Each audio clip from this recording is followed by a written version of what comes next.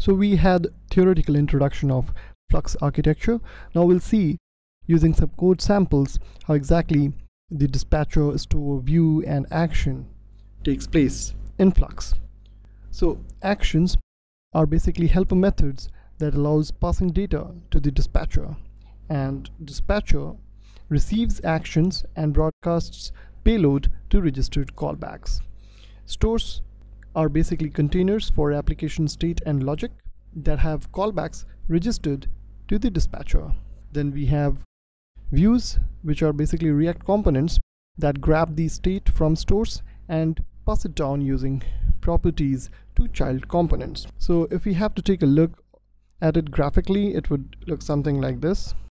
Now here you will see API, which is external here, and rest everything is the Flux unidirectional flow.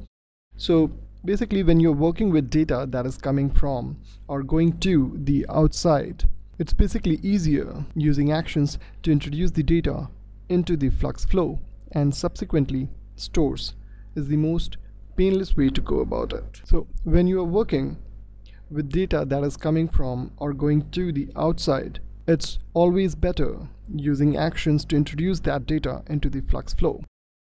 So as mentioned, the dispatcher basically broadcasts the payload to all of its registered callbacks and includes functionality that allows you to invoke the callbacks in a specific order, even waiting for updates before proceeding. There is only one dispatcher and it acts as the central hub within your application. So if you can see over here the code sample that we have, here we basically create an instance of our dispatcher and create a handle called view action. Here you can see that handle view action method. This abstraction is helpful if you are looking to distinguish between view triggered actions versus server API triggered actions. Over here, our method calls the dispatch method as you can see it over here this dot dispatch which will broadcast the action payload to all of its registered callbacks. This action can then be acted upon within stores and will result in a state update. So diagrammatically, we can have it in this fashion. Dispatcher basically broadcasts the action payload to all of its registered callbacks and this action can then be acted upon within stores and will result in a state update. That is what we are doing over here in this diagram. Now, as mentioned earlier that we can also define the order in which the callbacks will be executed and if required we can even wait for some. So here the coolest parts of the dispatcher module is the ability to define dependencies and marshal the callbacks on our stores. So if one part of your application is dependent upon another part being updated first, in order to render properly, the dispatcher's wait for method will be useful.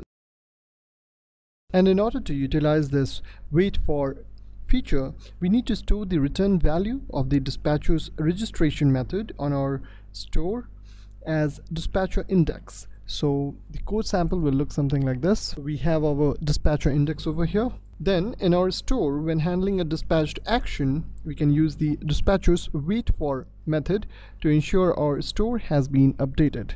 The code will look something like this in this case. So we'll have our case like by course and then we'll make use of the app dispatcher's wait for feature to ensure our store has been updated. Then coming on to stores, basically stores manage application state for a particular domain within your application from a high level. This basically means that per app section, stores manage the data, data retrieval methods, and dispatcher callbacks. So if we have to take a look at a basic store code sample, it will look something like this. So here's the basic store example and uh, the most important thing that we have done over here is this line where we are merging the event emitter. This basically allows our store to listen or broadcast events this allows our view or components to update based upon those events because our controller view listens to our stores and this leveraging this to emit change events will let our controller view know that our application state has changed and it's time to retrieve the state to keep things fresh. So here here you can notice that we have also registered a callback with our app dispatcher using its register method. This means that our store is now listening to app dispatcher broadcasts. Our switch statement determines whether for a given broadcast if there are any relevant actions to take. If a relevant action is taken, a change event is emitted and views that are listening for this event update their states. So if you take a look at the diagram,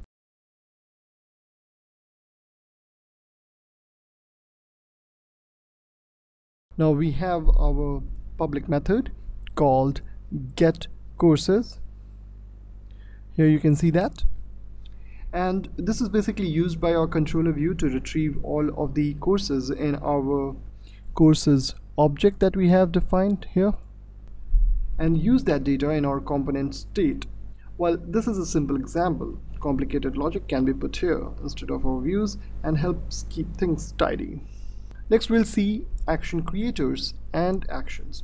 Now action creators are collections of methods that are called within views or anywhere else for that matter to send actions to the dispatcher. Actions are the actual payloads that are delivered via the dispatcher. So let's check out a constant's definition.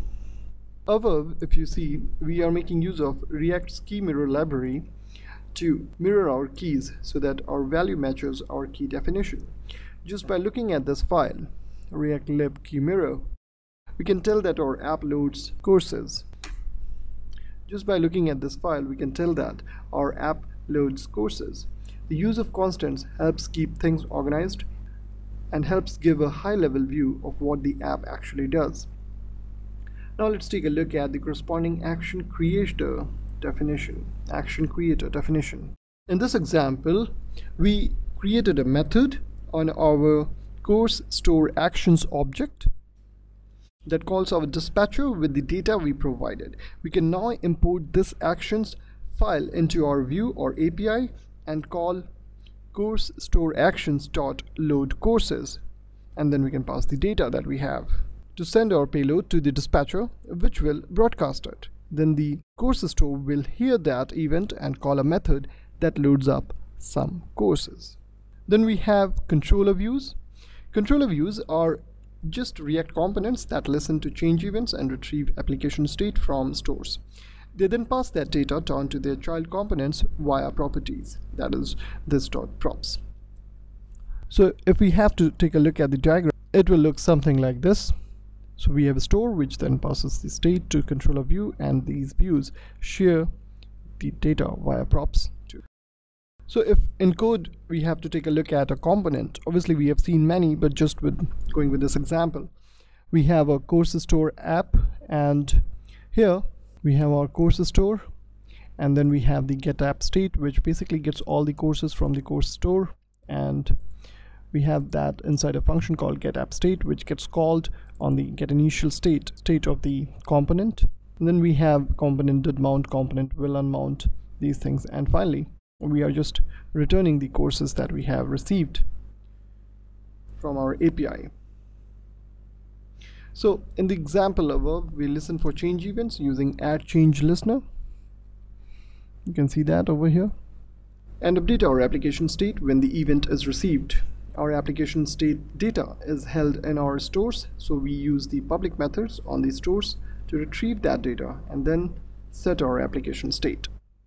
So that's how the whole unidirectional flow takes place in Flux.